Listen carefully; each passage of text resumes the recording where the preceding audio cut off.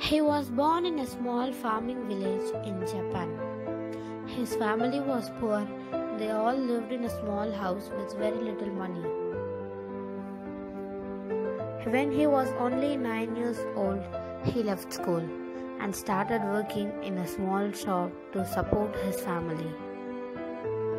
He used to get up every day before sunrise, clean the store, run errands, and then look after the children of his employer.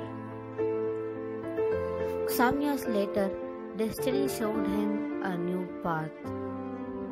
He got a job in an electricity company.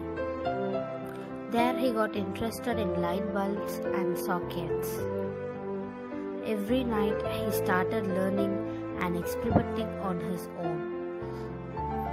One day he made an improved version of a light socket all by himself. He got very excited and showed it to his boss. But his boss was not impressed and said such a product will never work.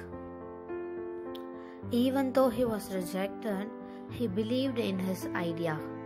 He wanted to do something on his own and start his own company. He asked his friends, they told him he cannot do it. He cannot leave his permanent job and start his own company.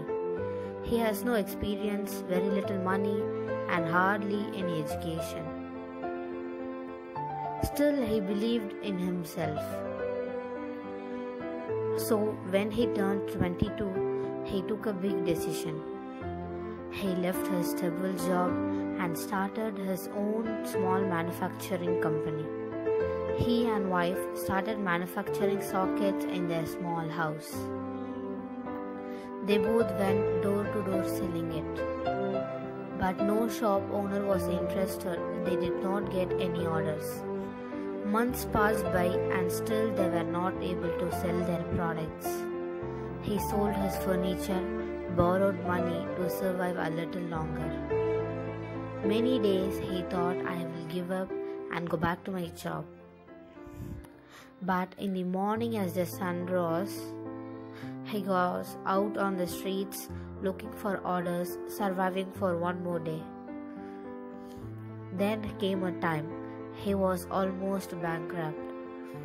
And just when he was closest to giving up his dream, that's when a miracle happened in his life. Out of nowhere, he got his first major order of thousand pieces. Now, 100 years after that first major order of 1000 pieces, his company now has over 2,50,000 employees with annual sales of $65 billion. His company's products are now sold across the world. All this was made possible by a man with no education and no money. All he had was a belief in himself. His name is Konosuke Matsushita. The company he had started in his small house is now known across the world as Panasonic.